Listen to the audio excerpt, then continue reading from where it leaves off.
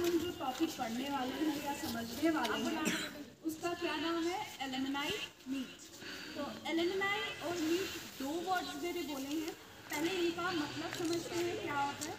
एलएमएनआई होता है जब हम किसी पुराने छात्रों को या पुराने स्टूडेंट्स को अपने कैंपस में दोबारा बुलाते हैं। अपने इंस्टीट्यूट में या स्कूल में दोबारा बुलाएँगे। ठीक है? और मीट क्या हुआ?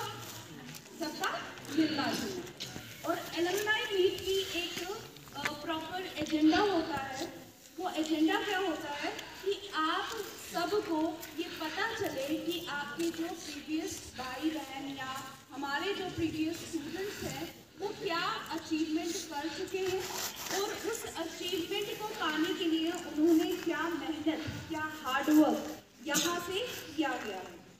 सो एलुमनाई मीट एक इंपॉर्टेंट ओकेजन भी है, एक स्कूल के लिए, एक इंस्टीट्यूट के लिए या किसी कॉलेज के लिए। कि उनको अपनी अपनी काबिलियत बताने की एक मौका मिलता है और बच्चों को भी एक उत्साह रहता है कि आपके जो पिछले जो जो भी पास आउट हैं, वो किस मुकाम पे, किस पोजीशन पे पहुँचे हुए हैं। क्या किसी को जानते हो जो यहाँ से पढ़ा हुआ है और वो अच्छी पोजीशन पे है? कोई बोल सकता है? किसी का भाई, किसी का बहन, किसी का चाचा, या कोई भी तो है बच्चे इज़ दैट somebody जो जो कुछ पोजीशन पे है यहाँ से पढ़ के गए हुए हैं टीचर बना है कोई डॉक्टर कुछ भी कुछ भी कोई कोई कोई ऐसा जोन में नहीं है बच्चे।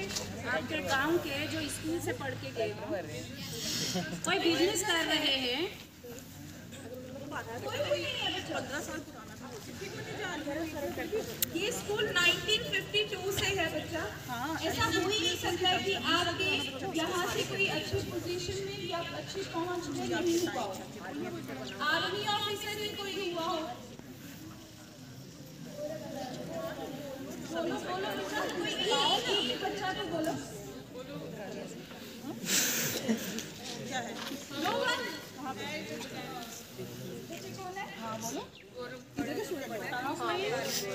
ये इसका भी है एक बताओ बताओ मेरे चाचा हैं टीचर चाचा अब टीचर है।